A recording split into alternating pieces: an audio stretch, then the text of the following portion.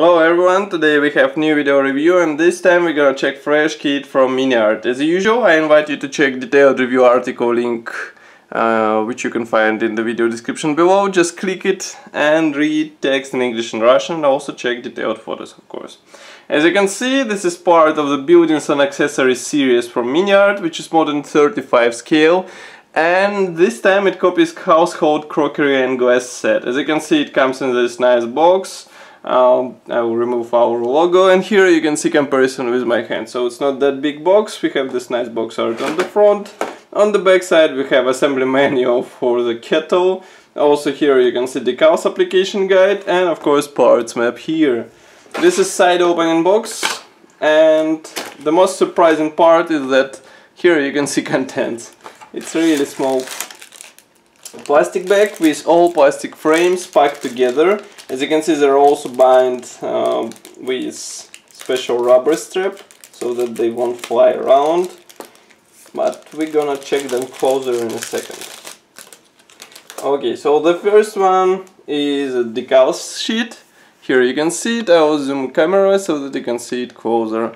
Printing quality is really good and application should be easy as well because all decals from MiniArt are not that problematic in usage, let's say. Next I need to remove rubber strips and I'll show you all plastic frames which are included into this kit. So first we have several transparent frames, they're absolutely identical, for example loose ones or loose ones. Note that here we even have beer mugs and special uh, glasses for wine and cognac. Then we have several colored sprues. Here you can see them. Note that they're given in red and green color, even though manufacturer describes this color as a brown. It's red in my opinion, so here you can see it. It's really nice molding quality and note that all parts are connected by one connection point, so you won't have to fiddle with any other possible extra problems. Next we have two absolutely identical white plastic frames. I will show you only one. This one is used to replicate all dishes which are included into this kit, so cups, also kettle. Note that kettle has separate handle and that's pretty much all.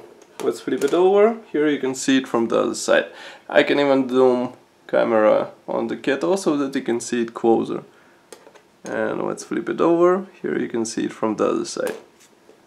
So quite nice small kit and I think it will come handy for some dioramas.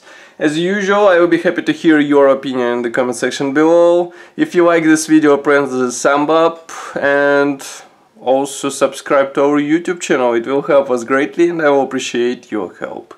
And of course, I will see you in the next video review as usual. So, bye!